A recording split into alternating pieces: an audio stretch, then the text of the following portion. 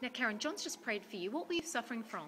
Um, severe neck pain and pain in my left shoulder. I've never been able to put my arm behind my back for three years.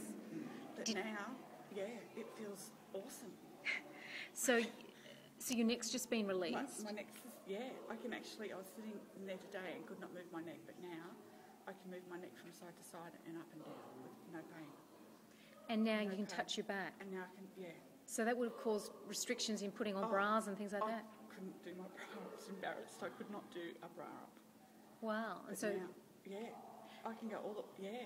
and what did you feel when John was praying for you? Oh, I just felt this sudden. I can still feel like heat coming up, heat coming up my legs and into my body, and my feet are burning.